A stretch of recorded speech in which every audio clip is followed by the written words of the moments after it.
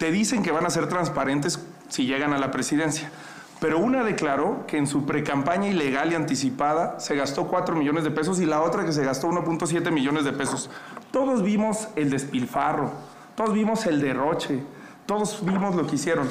Lo peor es que son capaces de manipular la información e incluso han difundido notas en las que supone que yo he gastado más que ellas en la campaña.